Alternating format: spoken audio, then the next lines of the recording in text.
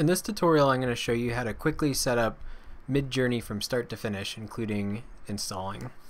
So the first thing you're going to want to do is just go to the internet and you're going to need Discord. Uh, go download Discord. So just go to their website and click download. Note that you have to use Discord. It's, it's not optional. That's the only way to use Midjourney. So uh, this step's necessary.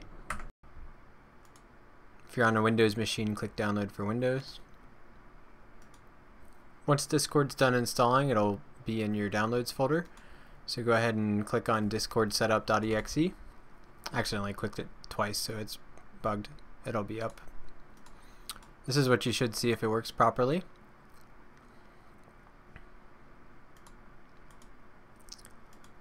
Uh, if you don't have an account, go ahead and register one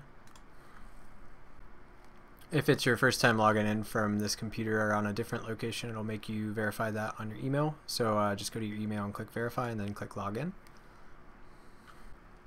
Once you're logged in, you're going to have to add Midjourney to your Discord. So what you have to do is go to discord.gg slash midjourney. And uh, if you are actually logged in beforehand like we just did there, uh, it will give you this pop-up on Discord as soon as you hit this URL uh, and do join Midjourney. This is actually a channel where uh, there's people posting discussions and you can look at other people's posts.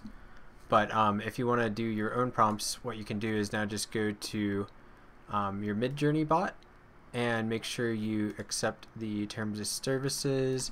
And then from there, you should be able to type in uh, slash imagine and then press space and then just type in um, whatever you like and it'll make an image of that.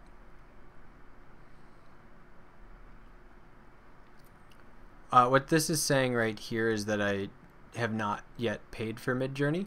So uh, what you're going to have to do is go to Midjourney's website and now that you have it in Discord, um, you're going to make a Midjourney account which is going to authenticate with your Discord go ahead and enter in your login info you just set up for Discord a minute ago and log back into Discord.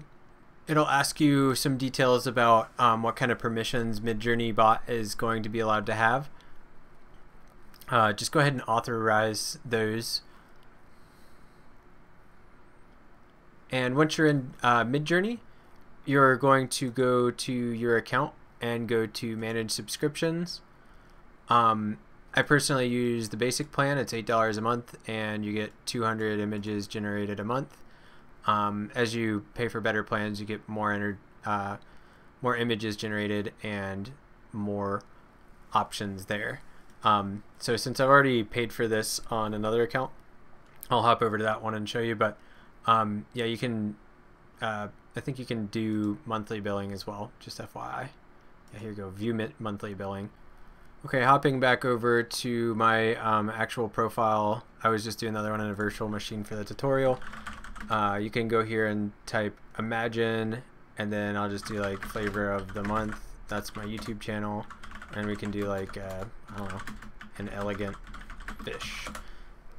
And after just like a minute, it'll start generating your images, and it'll show you them here. Now that uh, Midjourney has finished installing, you should be able to see the images you just created. Uh, you can open them in browser to get a more clear picture, or you can upscale if you want to see a bigger version of the same one. Um, there's a whole bunch more documentation. I hope this video helped, and please subscribe if you'd like me to keep making more content about tutorials and AI and tech.